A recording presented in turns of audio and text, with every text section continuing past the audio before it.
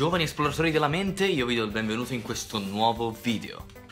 Oggi, come avrai detto dal titolo, parliamo di conformismo sociale, un fenomeno estremamente diffuso che avrai sicuramente toccato con mano sulla tua pelle. Perciò siediti, mettiti comoda o mettiti comodo e parti con me per questa nuova avventura. Gli esseri umani sono da sempre animali sociali e questa è una delle frasi più ridondanti che sentiamo sempre dire. Siamo nati per formare gruppi, per aggregarci e fare attività di gruppo e stare sempre insieme appassionatamente. Siamo così interessati a stare insieme agli altri, ad, al- ad amalgamarci ad un gruppo di persone che a volte trascuriamo la nostra individualità. E addirittura facciamo scelte o compiamo azioni di cui pensiamo di essere padroni, ma che non è assolutamente così. E questo ce lo conferma il noto e famosissimo Ash, che non è ovviamente l'allenatore di Pikachu. Ash è uno psicologo degli Stati Uniti che ha condotto un esperimento dalla semplicità disarmante, ottenendo dei risultati straordinari.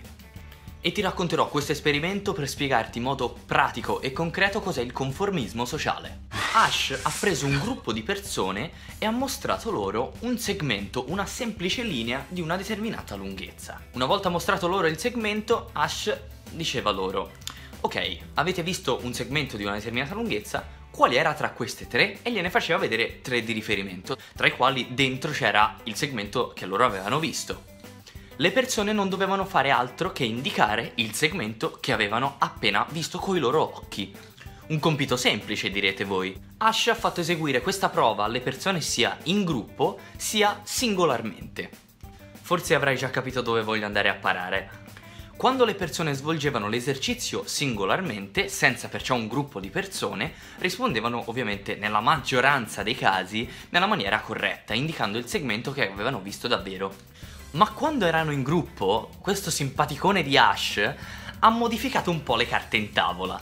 Nelle situazioni di gruppo, Ash ha sostituito tutti i partecipanti tranne uno con tutti degli sperimentatori, perciò dei ricercatori e degli scienziati che stavano conducendo l'esperimento con Ash. Quindi il soggetto reale dell'esperimento era uno soltanto e Ash si metteva d'accordo con loro per scegliere in modo apposito e fatto apposta il segmento sbagliato rispetto a quello che i soggetti avevano appena visto.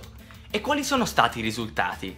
I risultati sono a dir poco sconvolgenti. Immaginatevi voi in una situazione di gruppo dove vi chiedono di vedere questo segmento, mettiamo A, B o C, e voi siete sicuri di aver visto C, poi andate a confrontarvi con un gruppo di persone e tutti, tutti dicono A. Come ti sentiresti?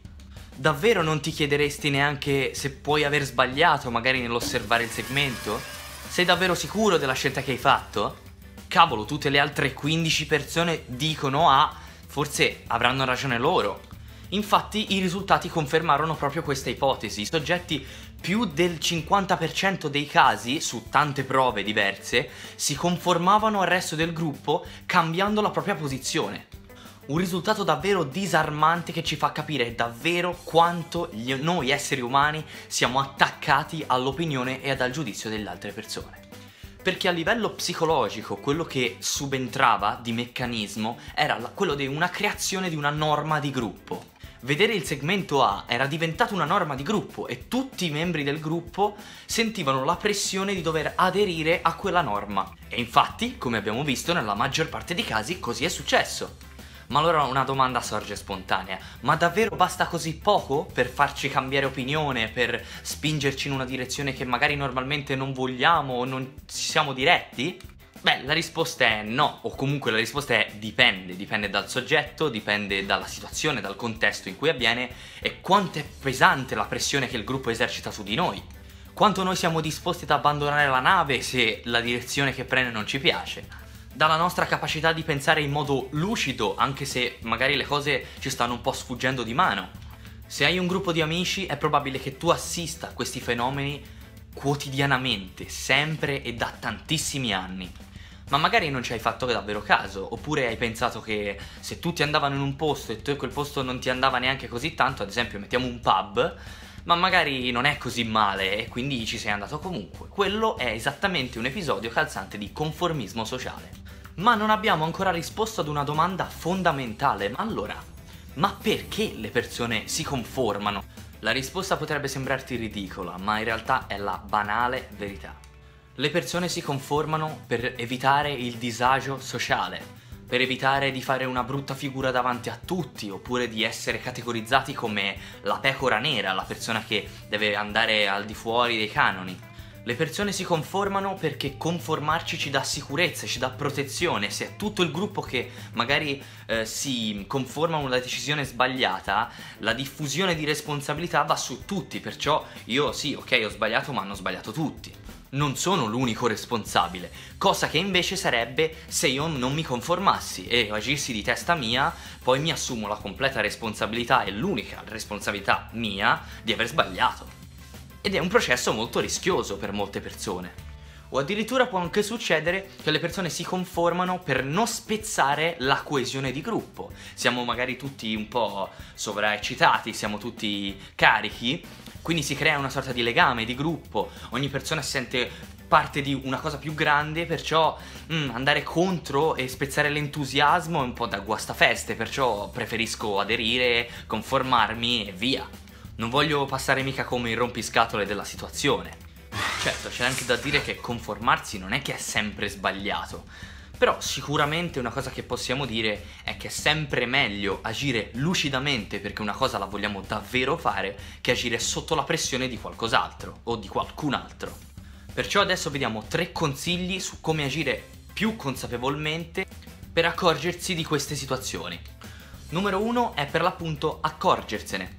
In una situazione di conformismo di gruppo sentirai sicuramente la pressione esercitata da un gruppo o una persona in particolare tu non dovrai fare altro che accorgerti di questa tensione data da una pressione che tu in realtà non vorresti.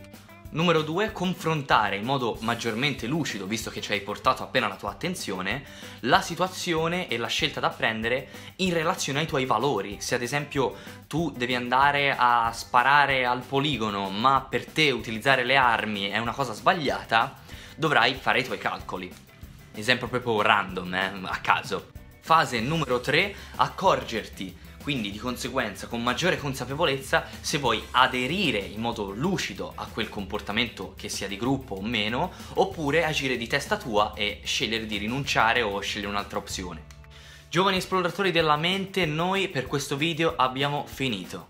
Spero che ti sia stato utile e se è così fammelo sapere con un bel mi piace, commentare come sempre con la tua esperienza personale Iscriviti al canale e noi ci vediamo come sempre alla prossima pillola psicologica.